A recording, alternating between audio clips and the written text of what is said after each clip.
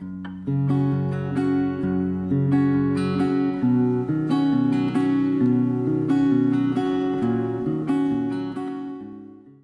and gentlemen, boys and girls, welcome to another episode of Clarifying Catholicism, where today on a Catholic Chat, our series of interviewing students and their faith experiences, uh, we're going to be talking about a matter that's uh, quite serious but also very relevant today in the Catholic Church.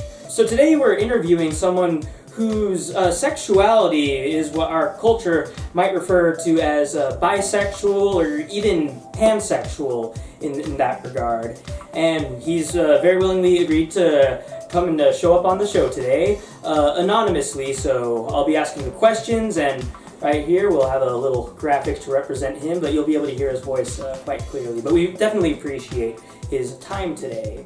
So before we get into this, I'd just like to clarify that the Catholic Church teaches love and acceptance of all peoples, regardless of uh, sexuality. And in fact, I would go as far as to say that the Catechism stresses a particular importance in reaching out and loving those of uh, different sexual minorities or anyone who is vulnerable or in a position of vulnerability in our society is someone that we should be reaching out to on a daily basis.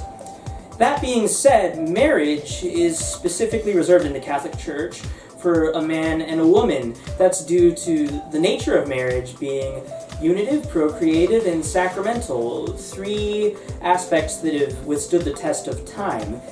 Because marriage is supposed to be a celebration not only of love between two people, but it really solidifies the sanctity of what it means to come together and have a relationship as only a man and woman can in having children. And that, that's just a huge game changer for the church and the entire process of having kids.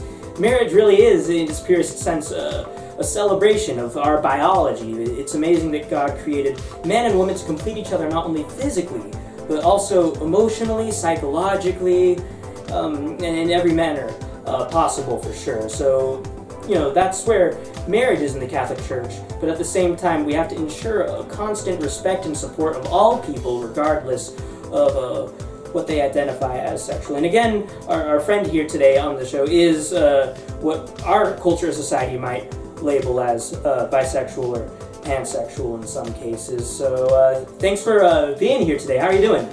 Oh, very good. Very good. Oh, that's good. And